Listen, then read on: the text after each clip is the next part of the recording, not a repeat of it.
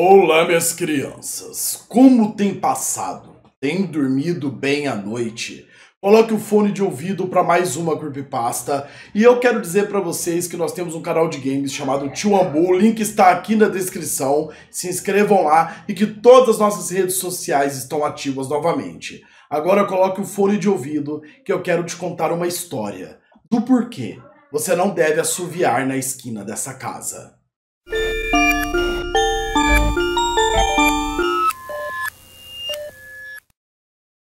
Meu pai contava uma lenda junto com os meus tios que sempre me deixava assustado, sobre um homem sujo e maltrapilho que morava na casa da esquina e que nós nunca podíamos assoviar ali. Um dia eu estava voltando da escola para casa e eu vi. Ele parecia sujo e perturbado e olhou diretamente para nós enquanto nosso ônibus escolar passava. Fizemos algumas piadas sobre ele provavelmente como forma de fingir que não tínhamos medo. Ele estava incrivelmente deslocado em nosso subúrbio de classe média. É como se ele não pertencesse àquele local. E sua mera presença parecia ameaçadora. Daí o nosso pânico quando nós três descemos em nossa parada e o vimos na esquina, prestes a olhar diretamente em nossa direção. Ele estava entre nós e nossas casas, e o ônibus já havia partido.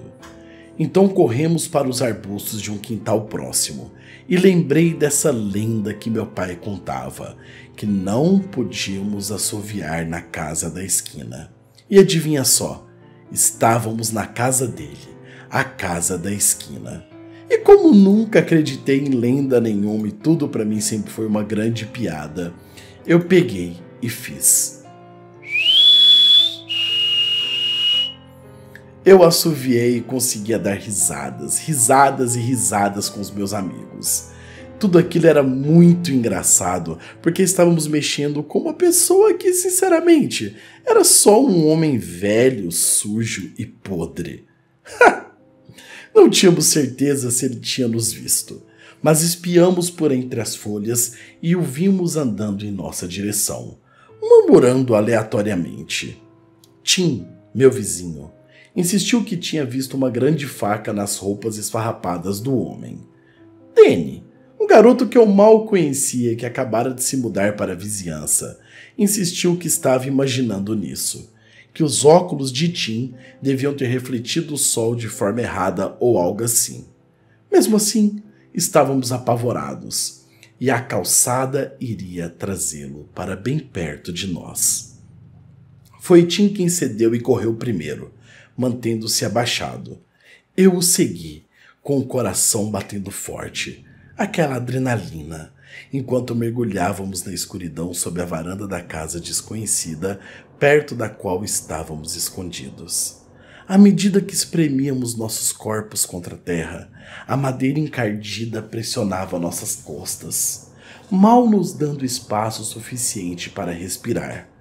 Do nosso esconderijo, pudemos ver o homem perturbado entrar no quintal à nossa frente e começar a procurar, batendo nos arbustos e resmungando. Crianças desgraçadas! Percebi então que Danny não estava conosco mas não tinha visto para onde ele tinha ido. Tinha havia perdido os óculos dos arbustos e simplesmente se encolheu nas sombras ao meu lado, quase cego de terror. Tim não conseguia enxergar seus óculos em hipótese nenhuma. Ficamos ali em silêncio, esperando de vez em quando. Sempre que eu achava que era seguro sair, passos rastejavam pela varanda de madeira acima de nós. Tim quase espirrou uma vez, mas eu cobri seu nariz e sua boca. Esperamos tanto tempo ali que o tom da luz do sol começou a mudar. Fazia algum tempo que não ouvíamos o homem procurando, e eu estava me preparando para espiar quando ouvimos passos e um baque atingiu a madeira. Uma fração de segundo depois, o rosto de Dane apareceu de cabeça para baixo na nossa frente, e ele olhou para nós através da grade. Uma expressão de choque e surpresa cruzou seu rosto ao finalmente nos encontrar. Ele sussurrou algo, mas eu não conseguia ouvir direito. Ele parecia estar dizendo: chegue mais perto. Então imaginei que o homem horrível ainda estava por perto e que tínhamos que ficar quietos. As feições de Dani ficaram com medo e ele continuou indicando algo acima de nós. Estranhamente, eu ainda não conseguia ouvi-lo. Seus olhos pareceram escurecer e eu avancei mais um pouco. Congelei por um momento de horror. Tim murmurou. O que ele disse? E eu apenas balancei a cabeça em estado de choque. Dane não disse. Chegue mais perto. Ele disse. Ele está em cima. O andarilho estava sentado bem acima de nós, esperando. Não havia nada a fazer senão esperar em silêncio, tentando não gritar.